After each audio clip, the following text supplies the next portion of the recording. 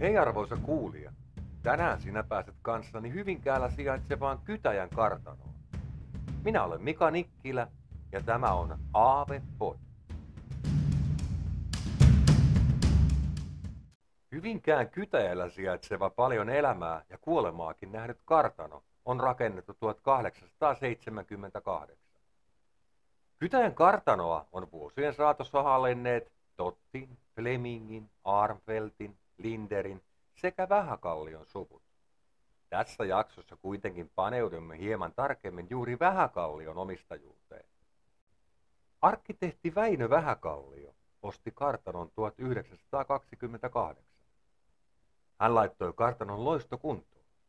Vähäkallion aikana kartanossa vieraili useaan otteeseen esimerkiksi presidentti Per Evin Spinwood metsästysretkiensä aikana. Voidaankin todeta, että kartano eli Väinö Vähäkallion omistuksessa kuljaita ja loistavia vuosia.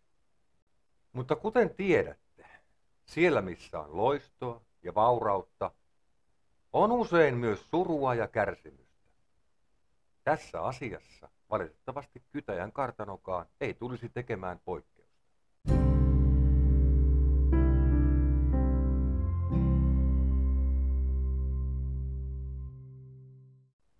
Väinö ja hänen vaimonsa Astrid olivat kolmen lapsen vanhempia. He eivät tienneet vuonna 1928, että seuraavien 15 vuoden aikana he tulisivat menettämään kaikki kolme lastaan kuolemien takia. Ensimmäisenä kuoli 11-vuotias Saarne vuonna 1931. Poika oli lähdössä ystävänsä kanssa hiirimetsälle kartanon maille, ja kaksikko joutuu kipuamaan aidan ylitse. Arne yrittikin esteen ensimmäisenä, ja kun hänen ystävänsä yritti tulla perässä, niin heillä mukanaan ollut pienoiskivääri osui aitaan ja laukesi. Luoti lensi suoraan pikku Arnen sydämeen, ja hän menehtyi välittömästi.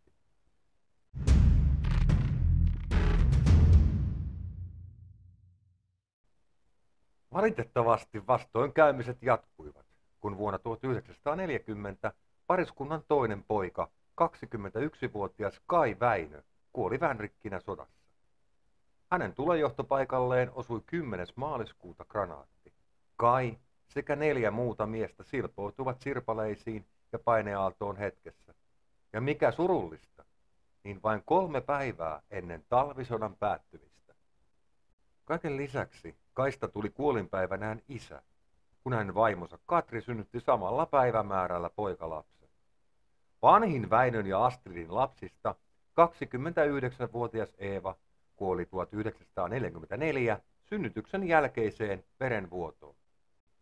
Vuonna 1955 leivottiin jälleen uusi kartanon isäntä. Nimittäin 1955 syyskuussa Väinö Vähäkalliolla todettiin syöpä. Sillä hetkellä hän alkoikin valmistella kuolemaansa ja teki testamentin, jossa jätti kartanon sodassa kaatuneen poikansa pojalle. Kartanon periä, Kaikustaa Vähäkallio, oli tuohon aikaan 19-vuotias.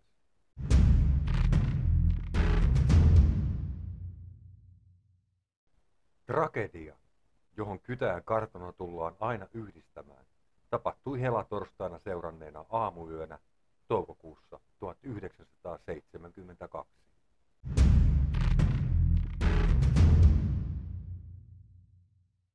Kaikustaa oli nyt 32-vuotias kartanon herra, vaikkei tiluksilla kulkiessaan häntä olisi sellaisiksi tunnistanut. Hän pukeutuu huolettomiin ulkovaatteisiin, lenkkareihin ja oli kasvattanut itselleen mustan parran. Palkolliset tunnistivat hänet kuitenkin jo kaukaa, sillä hän oli pitkä 195-senttinen mies. Helatorstaina illalla hän katseli kartanossaan televisiota. Illan hämärässä hän näki kartanonsa ikkunasta Kytäjärven yli, kuinka vastakkaiselle rannalle, Kaalimaan nokkaan, oli sytetty nuotio ja pystytetty oranssiteltta. Sillä hetkellä Kai sai jostain päähän piston ja lähti yön kähmässä katsomaan, ketkä hänen mailleen majoittuvat. Taskuunsa hän pani revolverin.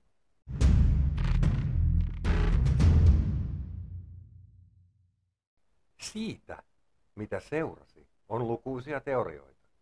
Yhden version mukaan Kai kimpaantui siitä, kun näki telttailijoiden kaataneen mailtaan leppiä.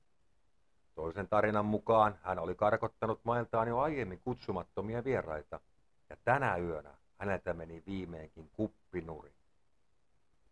Kytäjästä kirjoittaneen Aake Pesosen mukaan Kaille tuli niin sanottu pimeä hetki, joka näkyy kartanon herran luonteessa muutoinkin yllättävinä kiivastumisina ja väkivallan purkauksina.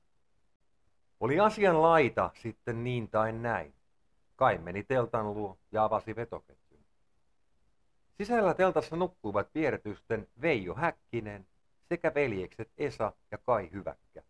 Kaikki päät ovelle päin.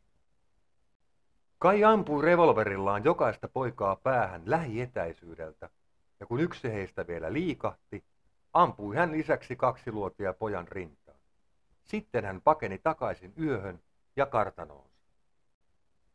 Luonnollisesti Kai joutui siitä sitten vankilaan. Sitten heinäkuun 20. päivä 1979 Kai oli ollut vuoden vapaalla jalalla. Hän istuskeli kartanon pihamaalla ja riiteli kova äänesti tuoreen puolisonsa kanssa. Lopulta Kai hyppäsi pystyyn kivahtaen. Minun kanssani ei kenenkään tarvitse enää riidellä, sanoi Kai ja marssi sisälle taloon. Sitten hän ampui itseään päähän. Tuona päivänä viimeistään alettiin puhua Kytäjän kartanon kirouksesta.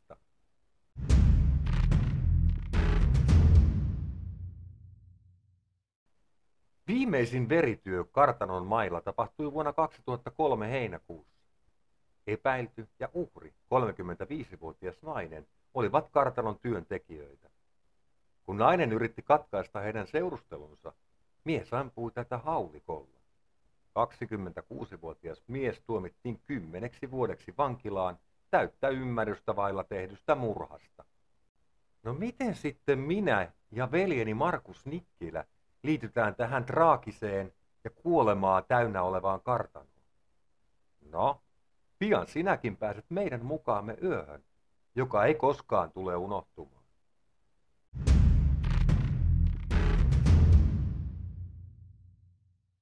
Miten on arvoisa kuulija? Oletko sinä kuullut Kytäjän surmista tätä ennen tai jopa mahdollista kirouksesta? Me olimme veljeni kanssa kuulleet ja lukeneet tästä Suomen synkintä historiaa kantavasta kartanosta. Ovatko kiroukset sekä muut paikasta kirjoitetut synkät kertomukset pelkkää legendaa vai totta? Siinä muutamia kysymyksiä, jotka saivat myös meidät paikasta kiinnostumaan. Meille rajatiedon tutkijoina pelkkä kiinnostus ei kuitenkaan riitä, koska meidän toimintamallissamme on keskiössä aina asiallinen lupien hankkiminen eri kohteisiin niiden omistajilta. On hyvin ikävää, että jotkut eivät osaa toisten omaisuutta kunnioittaa, vaan menemät ovin luvin eri paikkoihin touhuamaan. Ennen luvan saantia oli edessä meille jo tutuksi tullut sähköpostiralli, jota kävimme paikan luvista vastaavan henkilön kanssa. Lopulta pitkän puurtamisen jälkeen sähköpostiin ilmestyy viesti, jossa komeili paikanhoitajan myöntävä vastaus. Ja näin olimme paikkaan tervetulleita.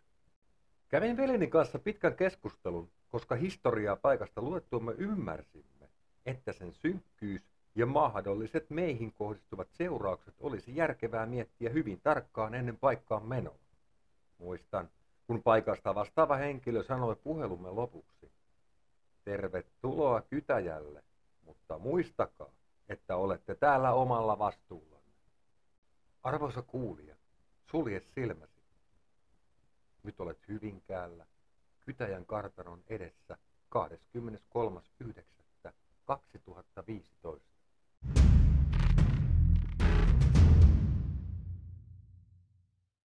Saavuimme pihaan, ja välittömästi järki kertoi ainakin minulle, että olisi ehkä parempi jättää koko paikka väliin.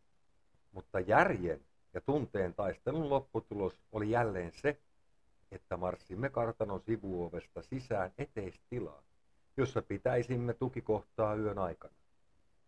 Kartano oli todella karmeassa kunnossa ja tietenkin säkki pimeä. Lattioita ei alakerrassa enää ollut, vaan kuljimme lankkuja pitkin taskulampun avustuksella laitteidemme kanssa. Veljeni Markus sanoi minulle, on tää kyllä aika karu paikka. Vastasin siihen hänelle, no mitä sä odotit tämän olevan? Kieltämättä jo saapuessa sisälle päässäni pyörivät paikastani lukemani murhat, itsemurhat ja onnettomuudet sekä totta kai se legendaarinen kirous, joka eräiden tietojen mukaan voisi langeta paikassa käyneiden päälle.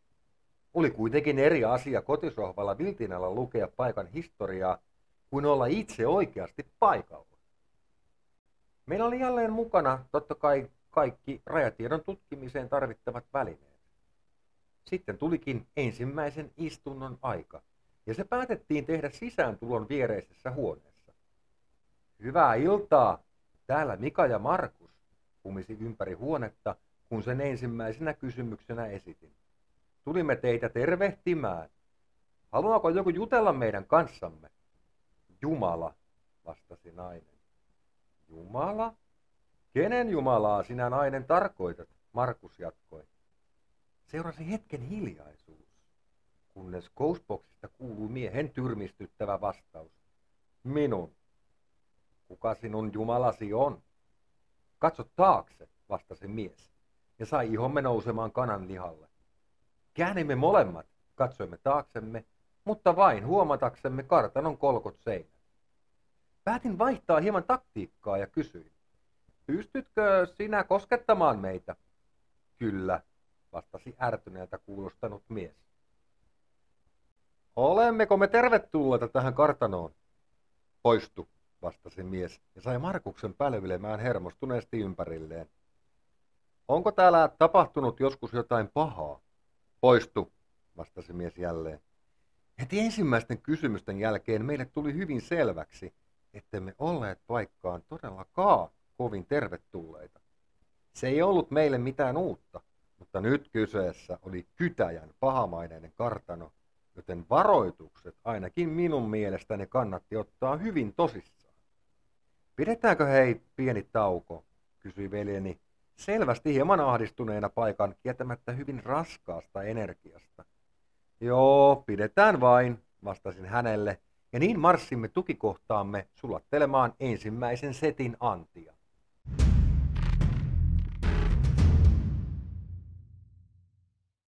Vedimme tosiaan hieman happea veljeni kanssa ja mietimme, miten edetä.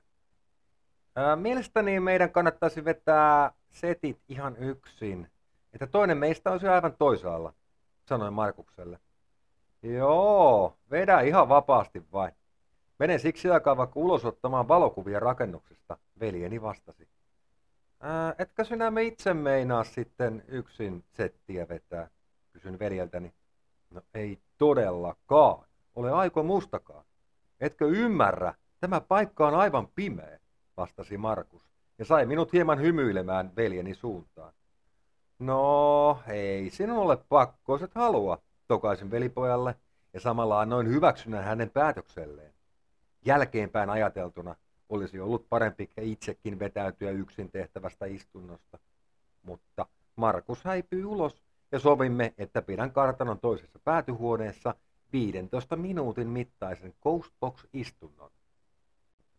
Niinpä sitten kävelin huoneeseen, laitoin Ghostboxin sekä EMF-mittari nojaamaan seinää vasten ja istuin itse lattialle. Vaikka olen yksin tehnyt näitä istuntoja vuosien aikana varmasti satoja, niin myönnän, että päässäni jyskytti kytäjä, kytäjän kirous, itsemurhat sekä tietysti surmateot, joita alueella oli aikanaan tehty, pyörivät mielessäni. Hei, tässä on Mika. Onko täällä muita minun kanssani? Kyllä, vastasi mies. Olenko minä nyt yksin tässä lattialla? Olet kyllä, jatkoi mies. Oletko sinä paha? Mieti, vastasi mies ja sai minut katselemaan ympärilleni adrenaliinin noustessa. Niin tuota, oletko sinä paha? Vastaan nyt. Murha, vastasi selvästi sama mies.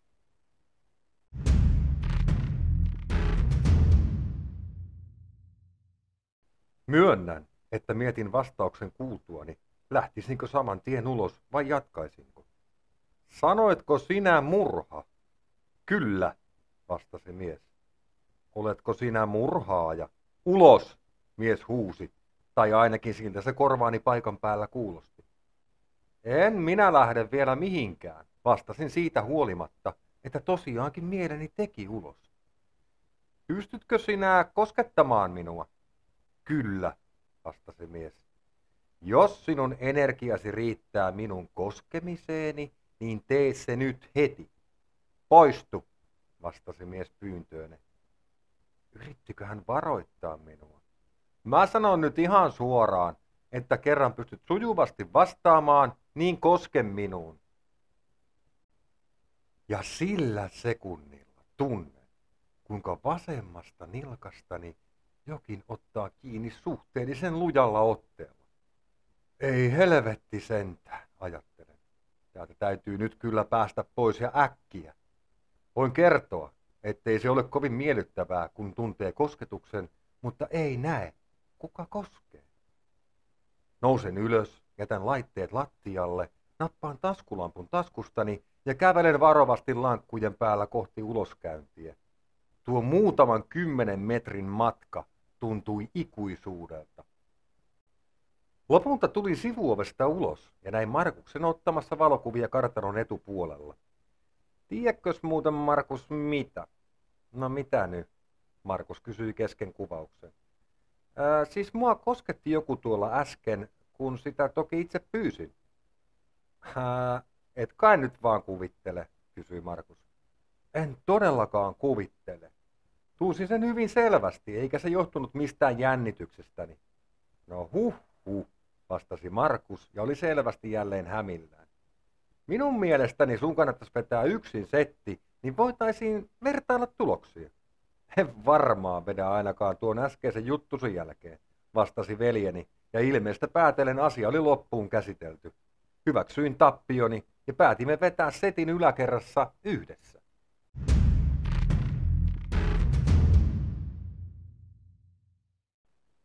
Kävelimme yhdessä sisään ja saavuimme yläkertaan johtavien portaiden luo. Yläkertaan meneminen ei ollutkaan aivan yksinkertaista, koska yläkerran portaisiin pääsemiseen vaadittiin pieni hyppy. Ja jos tuo hyppy laitteiden kanssa epäonnistuisi, tuloksena olisi putoaminen ainakin metrin verran alaspäin kohti metallisia ja teräviä talon perusrakenteita. Uh, hyppää sinä ensin, kun olet nuorempi ja vetreempi, sanoin Markukselle. Otat sitten minut vastaan ja taraudut käteeni kiinni, niin en ainakaan putoa. Markus hyppäsi ja laskeutui yläkerran rappujen alapäähän. No niin, vaari, hyppääs nyt sitten, niin otan sinua kädestä kiinni, huikkasi Markus. Ja niin sitten hyppäsin kamera ja EMF-mittari kädessä ja Markus tarrasi käteeni kiinni. No niin, helppoahan se oli, Markus sanoi ja hieman nauraskeli, kun näki, kuinka kömpelöä toimintani oli. Siis kestävätkö nämä portaat meitä muka tuonne ylös asti? Kysyi Markukselta. No, aika lahoilta näyttää, eikä täällä jumalauta edes näe mitään. Jos vaikka jotain reikiä on ja tiputaan tuonne törröttävien rautojen päälle, niin se on sitten siinä. Askel askeleelta hyvin varovasti kiipesimme ylös portaita, kunnes lopulta aukesi näkymä kartanon yläkertaan. Itselläni on jumalaton korkean paikan kammo, eikä sitä ainakaan helpottanut tieto siitä, että jos yläkerran lattia pettäisi, niin se oikeasti tietäisi varmaa kuolemaa. Hei, mennäs tonne perälle tekemään istunto, sanoi Markukselle. No mennään vain, mutta kävellään nyt sitten varovasti, koska ei tiedä, miten hauras tämä lattia on. Lopulta saavuimme huoneeseen. Istuimme lattialle ja aloitimme uuden istunnon. Hei, tässä on Mika ja Markus. Onko täällä nyt muita nyt paikalla? Poistu, vastasi mies. Usko jo nyt, ei me olla vielä poistumassa, vastasin takaisin. Näkeekö joku teistä nyt meidät? Minä, vastasi mies ja sai taas sydämen pamppailemaan. Kuka sinä mies olet? Asun täällä, kuului Ghostboxista, ja Markuksen ilme oli luvalla sanoen kauhun kangistama.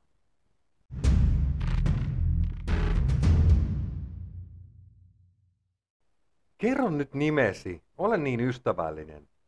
Kuole, sanoi mies. Tuolla hetkellä ymmärsin, että nyt olimme todellisen pahan keskellä ja samalla hyvin haavoittuvaisia.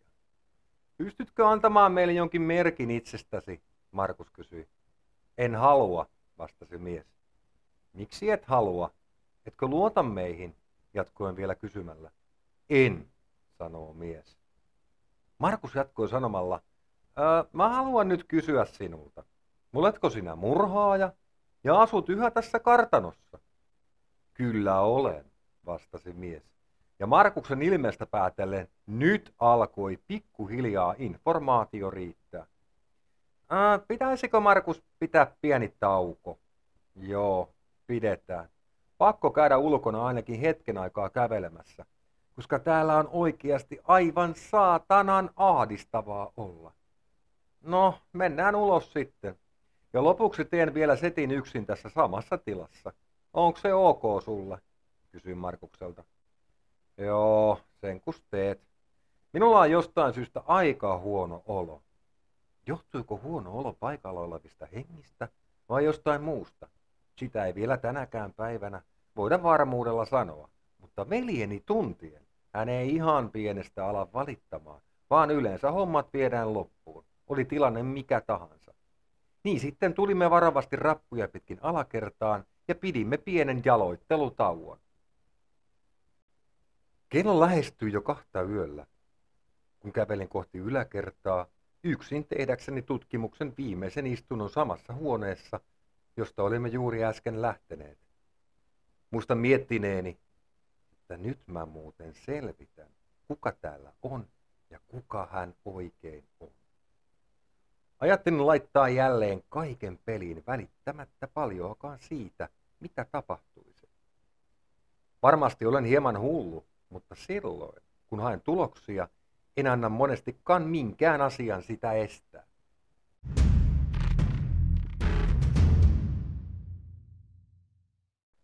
Hei, tässä on nyt Mika yksin. Voisitko nyt kertoa, kuka olet sinä, joka täällä selvästi paikalla on? Kai voin, vastasi mies hieman ärtyneenä kousboksin kautta. No, kerro sitten kuuluvasti, kuka olet. Kai, vastasi mies.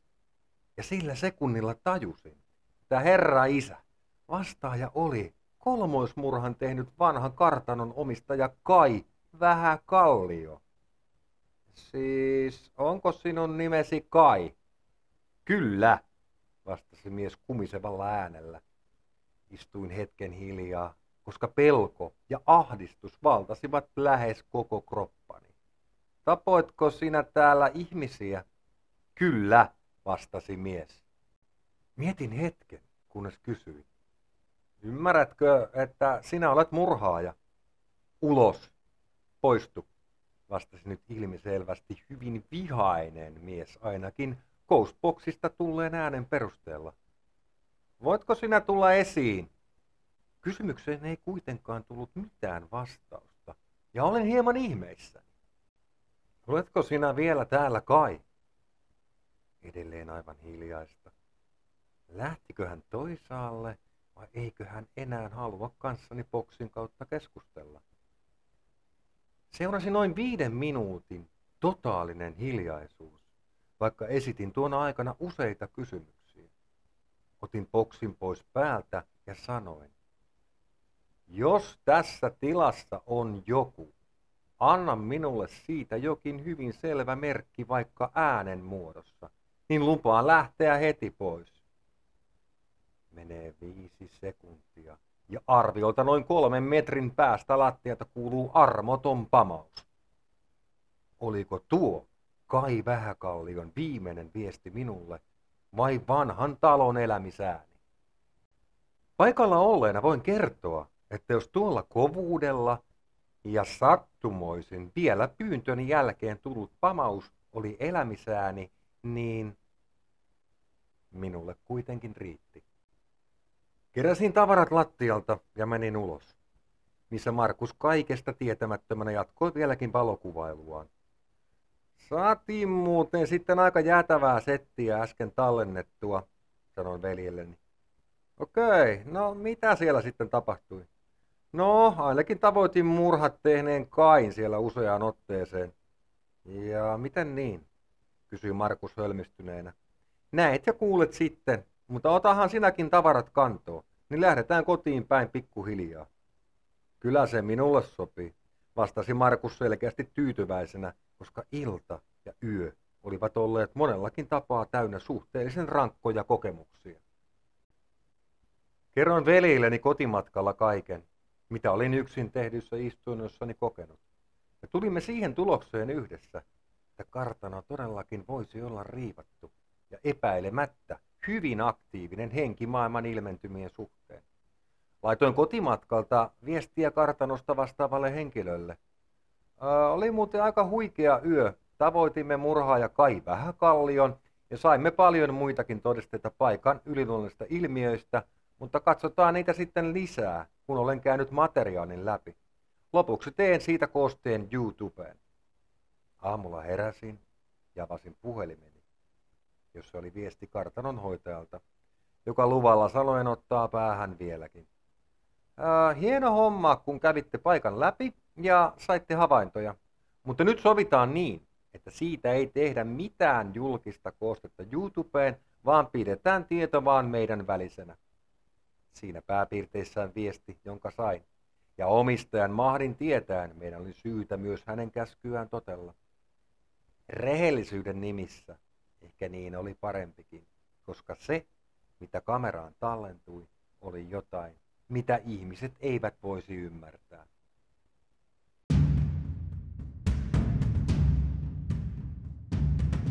Arvoisa kuulija, on totuus Kytäjän kartanosta sitten mikä tahansa, niin varmaa on, että ihminen voi lähteä Kytäjän kartanosta, mutta Kytäjän kartano ei koskaan lähde ihmisestä.